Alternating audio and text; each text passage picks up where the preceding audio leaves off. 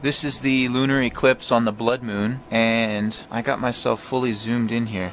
As you can see, it's already partially eclipsed. Check it out. Hey babe, look. Oh my goodness. Can you see? It's like half. E Yeah, that's amazing. Wow. And the star right next to it is Mars, hey? and I'm just gonna show you guys. hope you can see it on camera. Watch when we move to the side here. There's Mars. Right over here. That is Mars, guys. That little dot. That's Mars. But with the naked eye, it's like quite red. That's Mars right there. And now, let's go back to the moon. windy. It's quite windy out here, guys. It's quite Very dark. it's quite windy and very dark out.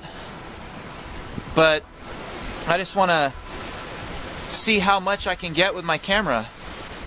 This is the 27th of July, 2018, and we are recording the blood moon eclipse. Doesn't look that red yet. It's still looking quite white, but it's nearly fully eclipsed. But I'm definitely going to come back to you guys and give you a full report on this, but this is incredible. I'm so happy that we can document this right now. What do you think, babe? That's amazing. That's incredible. You can actually see the clouds going past. See it? Yeah.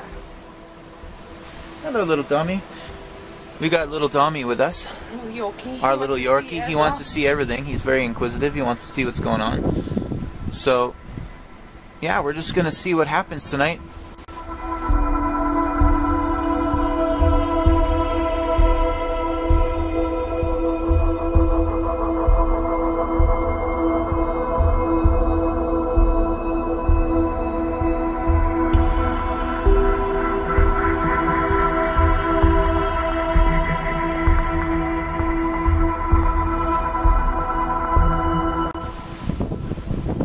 Wow, that wind is really picking up, guys.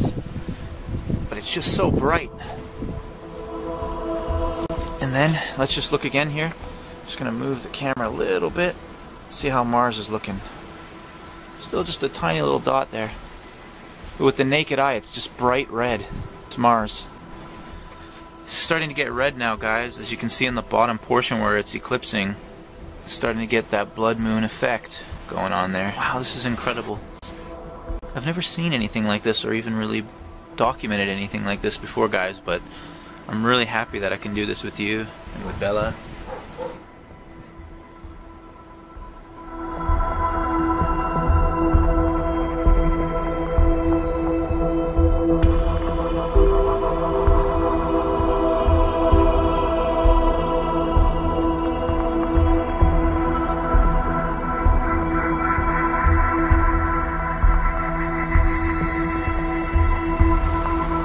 Is, guys. It's like fully blocked right now, and you can see it's quite red.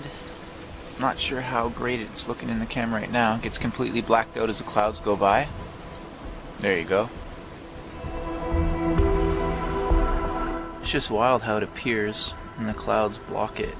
The thing is so red, man.